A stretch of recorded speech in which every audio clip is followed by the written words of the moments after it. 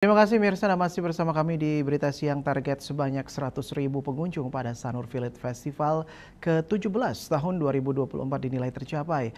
Hal ini turut membantu pelaku usaha mikro kecil dan menengah untuk terus tumbuh dan berkembang ke depannya.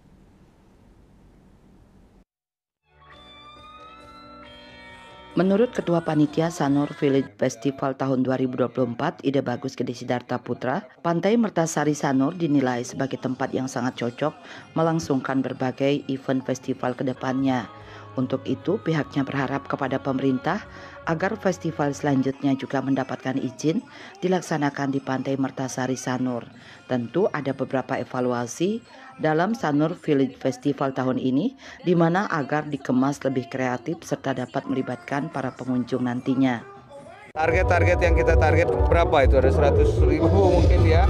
Uh, kita yakin itu achieve itu, ya.